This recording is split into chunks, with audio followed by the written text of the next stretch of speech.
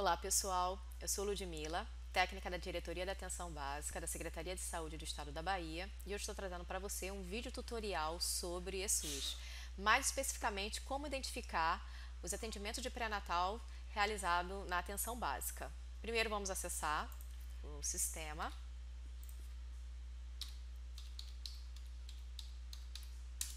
Pronto.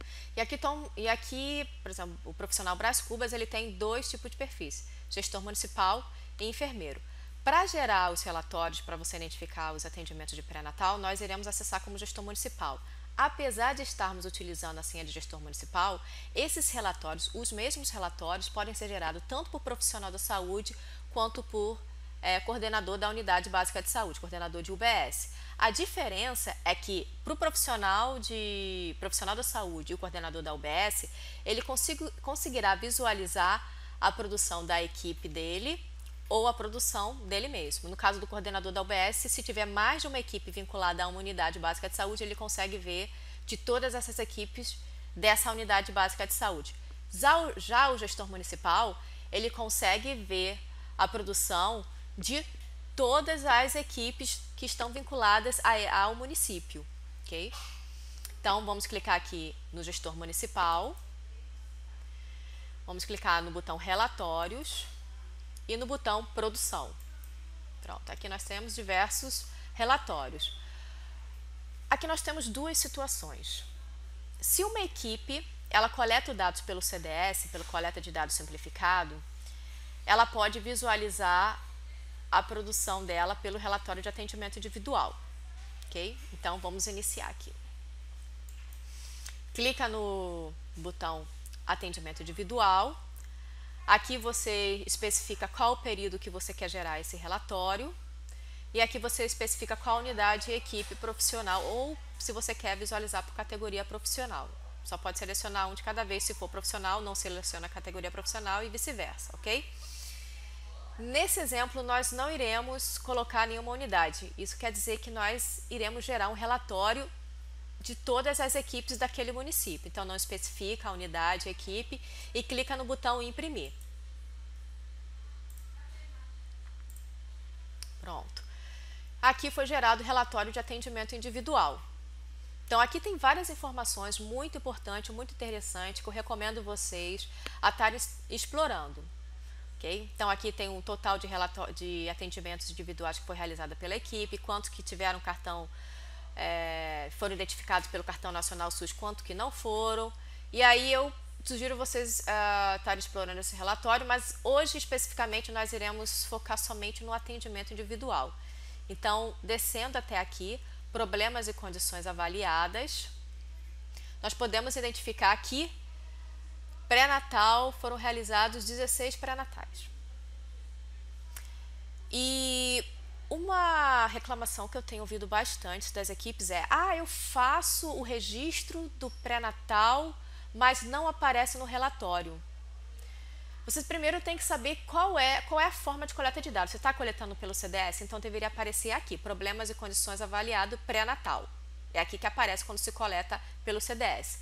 Quando se coleta pelo PEC, é aquela outra situação que eu falei, ela não aparece aqui, ela aparece mais embaixo ok? Ela, você vem aqui em problemas e condições avaliadas CIAP 2, então você procura esse título aqui, problemas e condições avaliadas CIAP 2 e procura os códigos que estão relacionados ao atendimento de gravidez. A gente desce, desce, desce aqui. Aqui, por exemplo, nós temos gravidez bastante, W78, que é o mais usual para pré-natal, mas também nós temos infecções que complicam a gravidez e gravidez de alto risco. Todos eles te, estão relacionados à consulta de pré-natal. O problema é que quando você evolui pelo SWAP, você está lá no prontuário eletrônico cidadão, você está evoluindo o paciente utilizando o SWAP. Tem a parte lá A, avaliação. Você pode atribuir mais de um código. Então, você clica lá, digamos que já, é, já não é mais a primeira consulta da gestante, é a segunda, então tem um, um quadrado com uma gestante. Você clica lá naquele quadrado da gestante, com o desenho da gestante, automaticamente vai exibir na, na parte dos códigos de avaliação do SWAP o código W78 gravidez, mas o profissional ele pode estar tá colocando outro código. Por exemplo, esse gravidez de alto risco, essas infecções que complicam a gravidez, elas podem ter sido colocadas junto com esse atendimento de pré-natal. Então, posso ter vinculado mais de um código de gravidez a uma gestante. Então, aqui eu não consigo ter certeza do número de gestantes que foram atendidas pelo PEC. Para isso, nós temos uma outra sugestão. Então, se você é uma equipe que coleta dados, se você sabe que você está trabalhando com uma equipe que, que coleta dados pelo PEC, pelo, pelo prontuário eletrônico do cidadão, então você volta, vamos voltar aqui para, para a tela de relatórios e eu sugiro que você visualize o número de pré-natais pelo procedimentos individualizados. Então você clica aqui no botão procedimentos individualizados.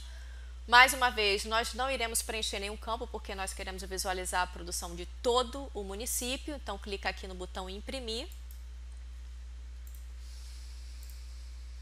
E aparece aqui, e aparece aqui o relatório de procedimentos individualizados. Se você desce, vamos descer, descer, em outros procedimentos SIGTAP, você procura por esse código aqui, consulta de pré-natal.